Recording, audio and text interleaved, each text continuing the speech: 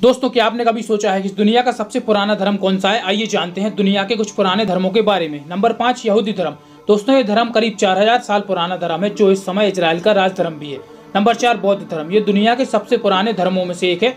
इसकी स्थापना आज से लगभग तेईस साल पहले भगवान गौतम बुद्ध ने की थी और आज इस धर्म को पूरी दुनिया में लगभग सत्तर करोड़ से ज़्यादा लोग मानते हैं। नंबर तीन, इस्लाम धर्म।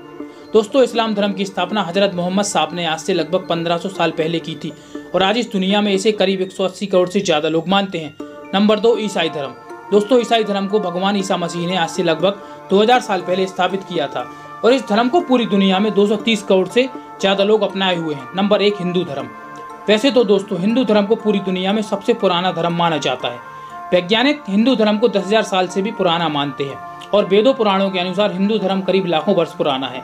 और आज भी पूरी दुनिया में खुदाई के दौरान हिंदू धर्म के मंदिरों के अवशेष मिल ही जाते हैं। दोस्तों, जानकारी कैसी लगी कमेंट में ज़रूर बताएँ।